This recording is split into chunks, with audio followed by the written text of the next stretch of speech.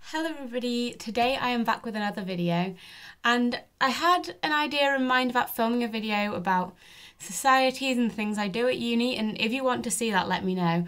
But I realised that this time last year what I really wanted was some advice on choosing what university I wanted to go to. So being it's like mid-February when I'm filming this and about this time is when most people are trying to make their decisions.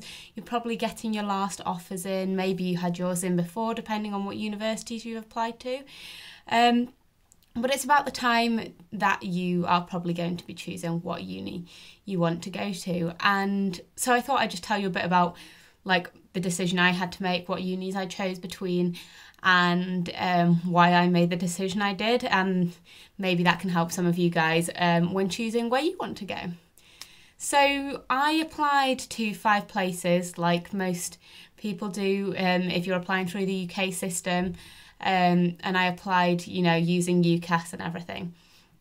And so when we went on the open days, the first open day I went to was Edinburgh, and I really liked it. I felt like I'd found somewhere straight away that I absolutely loved, and I went round the whole day, and I was getting so excited about, you know, going to um, uni and everything.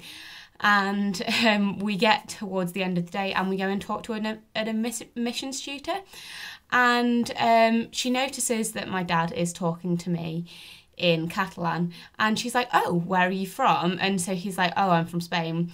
And sort of explains. And she said, Oh, well, then me being the first generation, um, like, of an EU resident, like, my dad only has his Spanish passport, that meant that I, um, counted in Scotland for free tuition, which was totally unexpected.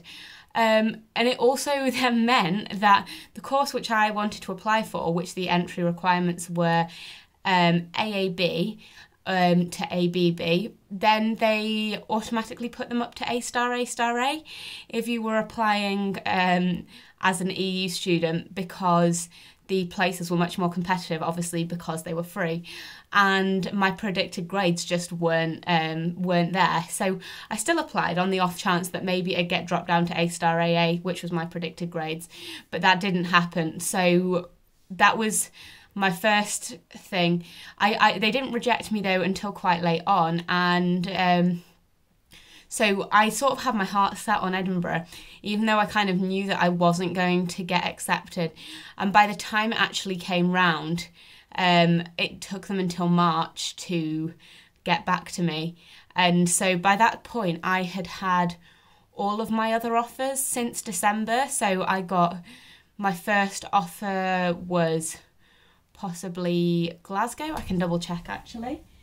Um, have my old diary here from um, that, like around that time. So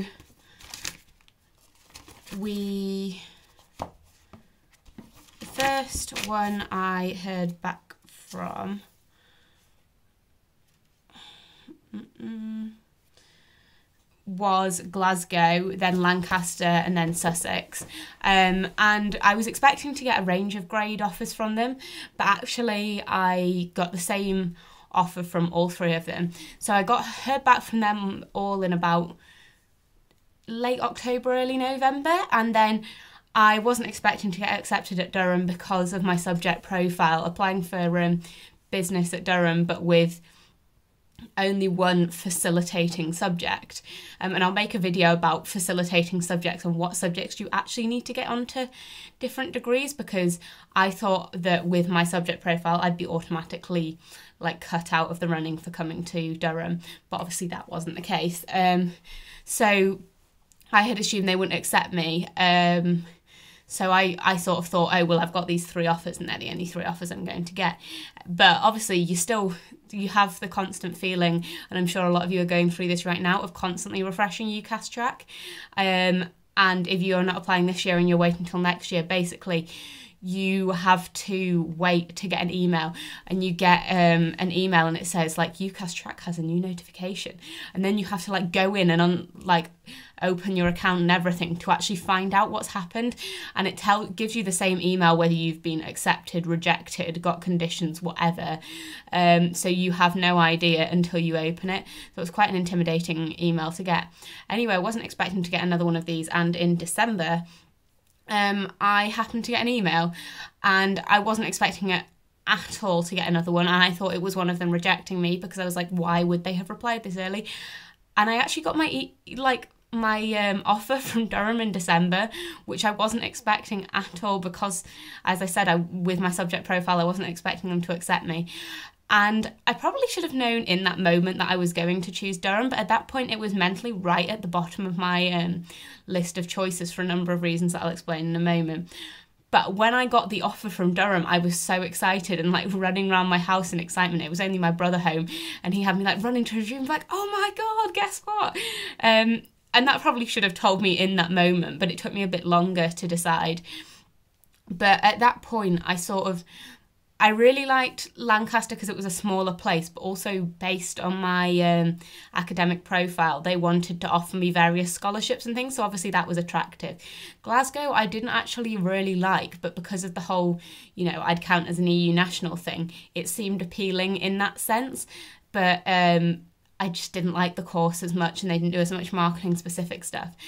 Um, but at first I was just telling myself that I had to go there because obviously, you know, of it being free and whatever. So that was a difficult decision to choose against that.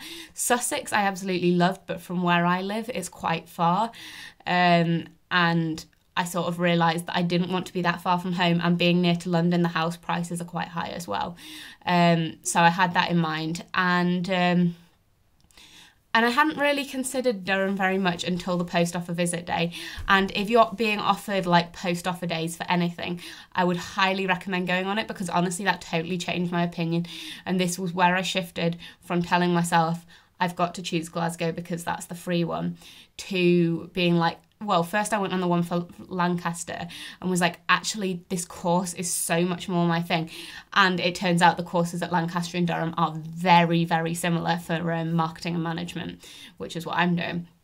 So um, I then went a couple of weeks later. I'd almost decided that I was going to go to Lancaster at that point. Um, still hadn't heard from Edinburgh, but by this point it was like mid to late February last year, and so wasn't expecting like anything positive by that point, sort of thing. But um, I was then um, going on the post offer visit day just because I hadn't had a great experience on the Durham Open Day because I got terrible hay fever. And so my eyes were literally streaming and my whole face was puffed up the entire day. And I was feeling so rubbish that I just hadn't really enjoyed the open day very much. Not that like open days can be really stressful, but like I hadn't got much out of it at all. So, um, I went on this post offer visit day and I came to St Mary's because I got my offer from St Mary's in early February and like the first round of college offers.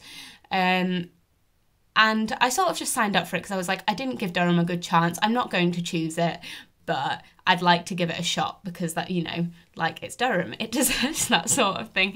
You know, like I need to give it a shot. So, um, and I came along and I came to St Mary's and I sat down and the first person I talked to is going to be the head welfare officer this year and is honestly perfect for the role because literally the moment I sat down um, and started talking to her, she made me feel so comfortable at St Mary's, which was something I wasn't expecting at all. And she was telling me all about all the things that are on offer um, and all of the things that they do in college and she just got me so excited about like the durham experience and i was like oh my god this actually sounds like such a cool place. Um, and then um, so and i went round and with the post offer visit day at durham it's really nice. You get to stay overnight for a night. And so in the afternoon and the evening you'll have loads of activities in the college that you've been allocated. Um, and then the next day you'll go on like a subject talk. And so i got to do that. And honestly it was such a great experience and it totally transformed it. And so then i got back from that um, maybe a couple of days few days later, got the rejection um, from Edinburgh, which, whilst it was kind of expected, it was still not a very nice email to receive, obviously.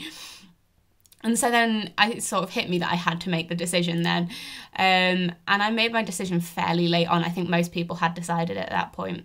Um, and I just was like, Durham, Lancaster, Durham, Lancaster and I had lists comparing like all the different modules and all a lot of the things that I loved about like each one they both had they were both small places they were both not too far from home um, they both had like the college system all of these things. And in the end i think it was just a gut feeling that told me to choose durham.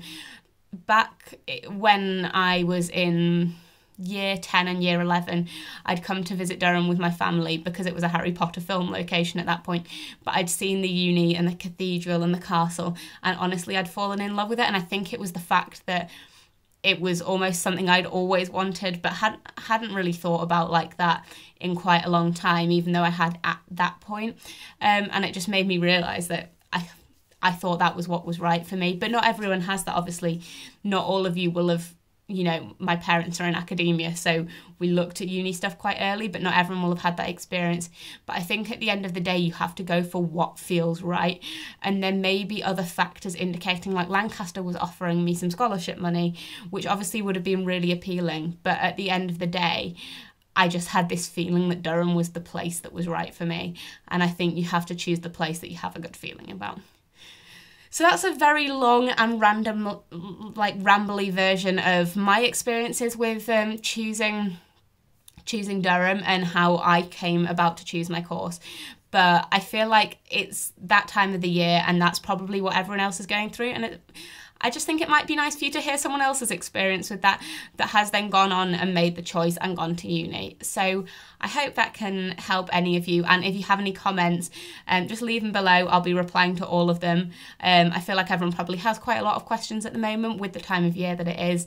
Um, so yeah, just let me know if you have any questions and um, if you want any other particular videos about uni. Just let me know. Okay, thank you for watching and I'll see you later, guys. Bye.